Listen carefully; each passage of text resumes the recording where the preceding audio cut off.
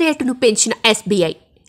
దేశంలోని అతిపెద్ద రుణదాత స్టేట్ బ్యాంక్ ఆఫ్ ఇండియా గురించి ప్రత్యేకంగా చెప్పనవసరం లేదు. ఇండియాలో ప్రసిద్ధి చెందిన పెద్ద బ్యాంకులలో స్టేట్ బ్యాంక్ ఆఫ్ ఇండియా ఒకటని చెప్పాలి. ఎప్పటికప్పుడు సరికొత్త ఆఫర్లతో తన కస్టమర్లను ఆకట్టుకుంటూ ఇంకా ఎక్కువ మంది ఖాతాదారులను సంపాదించుకుంటుంది.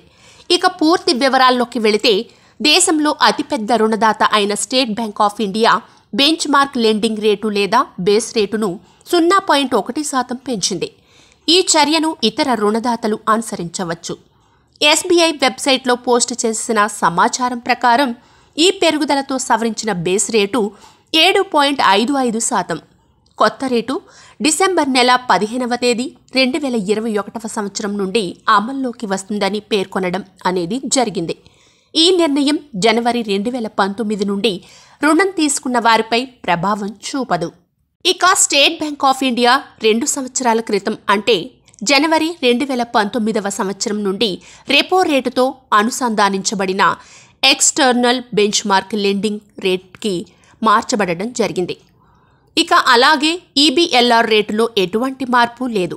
మరియు రిజర్వ్ బ్యాంక్ ఆఫ్ ఇండియా యొక్క బెంచ్ మార్క్ వడ్డీ రేటులో మార్పుతో ఈ రేటు మారుతూ ఉంటుంది.